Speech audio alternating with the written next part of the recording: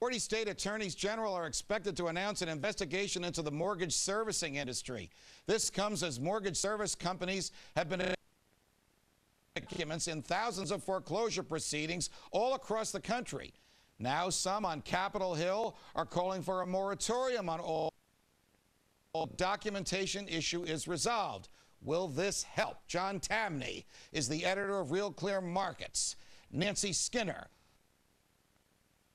and Charlie Gasparino, aside from being the greatest business reporter in the world, is my friend and my colleagues, uh, my colleague on the Fox Business Network. He's also the author of, you can see it right there, Bought and Paid For, the unholy alliance between Barack Obama to you first. Democrats in Congress, even the president resisted them, wanted some sort of a national moratorium mortgage foreclosures, a law that the Congress would enact which would tell state courts, thou shalt not hear these mortgage foreclosure cases until we tell you to. Do you go along with that?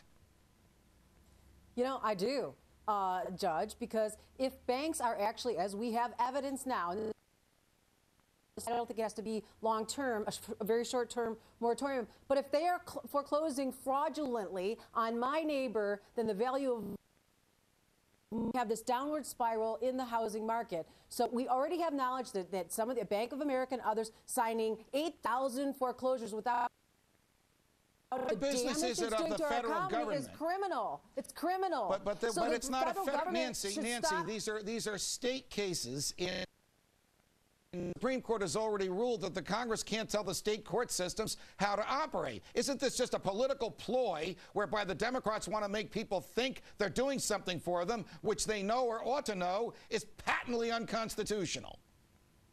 If the, if the federal government is trying to revive this economy and these banks are doing taking criminal action to hurt the economy, it is the duty of the government uh, to, to go after those banks and John, stop fraudulent and to the economy. Big picture, if all mortgage foreclosures are stopped, even the good ones, even the ones where we have the proper documentation. Well, I mean, I think first off, what it's going to mean is that housing can't reach its natural level. And that's essential so that we need this market signal telling investors to stop putting money into housing and get it into productive assets. Well, let's be honest, this should not surprise us. Well, but when the banks were bailed out, and they should not have been, basically they were bought and paid for by Washington, and Washington is coming back to get what it wants from them.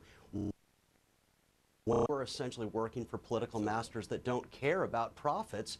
And now with elections coming up, is it any surprise that, that Congress is coming back and saying kind of a crucial time for us? All right, uh, Charlie, on the front cover of this book, Bought and Paid For, the unholy alliance between Barack Obama and Wall Street. You have pictures of the president in front of the White House with pigs. Who are the pigs? Well, the pigs are the heads of these banks. And I'll tell you, John was exactly right. Listen, this is a BS scandal. People are not being thrown out of their homes be for any other reason than you know some guy didn't dot an I or cross a T. The, I mean, we don't have people can't afford their homes. That's why they're leaving. Right. They're foreclosing on. But what John said is absolutely right, and it was the point of bought and paid for, is that there is this unholy alliance, and you know once you get bailed out by the federal government, you are wards of the federal government, and every now and then you're going to have to be part of a political ploy. All right, tell me if my scenario is is right, Charlie, and I'm basing it on a historical example. If people know that they won't be foreclosed on their homes they may just stop paying their mortgages. What will happen to the banks that require and expect those billions of dollars to come in every month? Well, what the banks want to do now is foreclose on those homes so they can sell them to people that can afford them. What this process is doing is preventing the sort of price discovery that needs to be done in the market so we know where mortgages, where housing should be priced at. But the, there is a big picture is how they're in bed together. I mean, listen, the Wall Street firms, I will tell you, because I've been, we've been breaking stories on Fox Business Network all day about this, that tomorrow right. they're going to announce this sort of big time investigation and that joining this moratorium. But the bigger picture is they're in bed together. They know that this is the price of doing business with government. Does Wall Street like well, this president, Nancy? Judge, hang on, hang Judge. on. Does Wall Street like this president the way Charlie claims they do?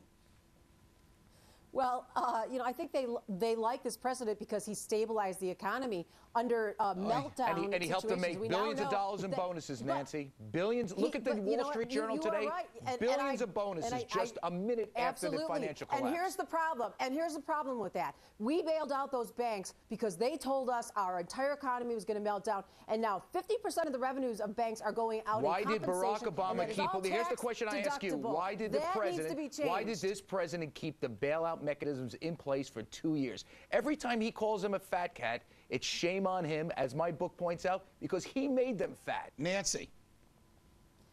You don't give them money. You don't put this money out there. TARP was a Bush-initiated project, and there was How it was about a the low interest rates? How about all the guarantees then on debt? Nancy, How both about everything parties, else? both parties are to blame here, Nancy. Two trillion has been spent since the beginning of TARP. About 750 billion under Bush, and the remainder under President Obama. You can't point a finger at But- one of the two parties. Neither of them understands how the economy works because unemployment is just as bad now as it was before they Right, started to spend right. the two trillion. So the And whole it's- theory is the whole theory, Judge. Just let me finish. If if you are paying 50% of your bank's revenues out in compensation, 100 million dollar bonuses, It's- tax deductible, and not lending it to Nancy, people so that they Nancy- can start Hang on, hang on, businesses, hang on, Charlie. I- I gotta on bring you, John. and that's a problem. John Tamny, the Wall Street bonuses, they were enormous. It is, it is projected that Wall Street will earn a profit in 2010 of $450 billion. Do the folks who got those enormous bonuses deserve them? And if they do, what does it tell us about the economy?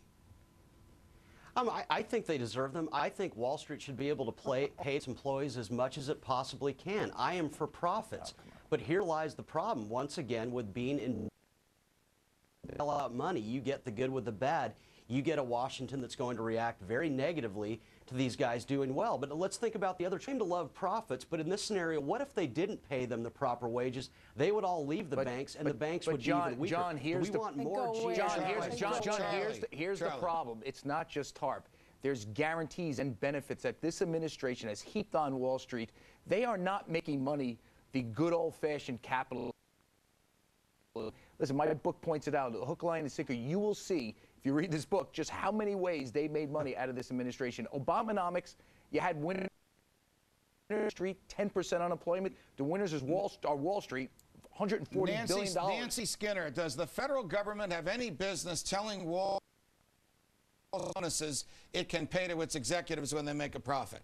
Who stated differently? Yes, Who knows yes. more about You know- salaries, the federal government or the people that because they are tax deductible expenses and that means that so if they're going to get away with a big tax liability by just giving them paying their fair share the middle class and working people have to make up that money to provide the services the general welfare of the constitution judge therefore it should be limited right, uh, in right. some respects All right, swi- switching uh, switching gears. Today, the federal government announced, not with by Judge Martin Feldman of the United States District Court in uh, in New Orleans, which had told them that they could not impose a moratorium. Today, moratorium. What is that going to do, John? Will drilling resume, or are those drillers gone to somewhere else by now? I imagine they've gone risk drilling right now because you saw what happened with BP.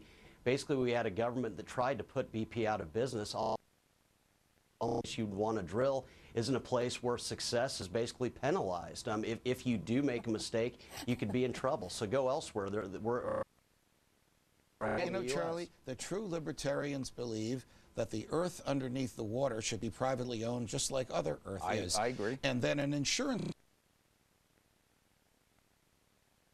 But, but you, but you have to realize that the environmental laws prevent you from drilling in safer areas. You have to. Your liability goes up dramatically. Hey, That's Nancy, this where's the federal Judge. government's deed? Where's the deed the federal government has to prove that it owns all the earth?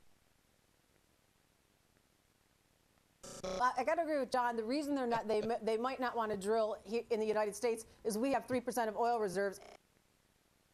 But the, but the idea that, that somehow that this moratorium to make sure that people's, another libertarian concept, if that be, they damaged the livelihoods of so many thousands right, of people. we, that, you're right. We so could argue BP all day. Gotta, gotta go. Charlie Gasparino.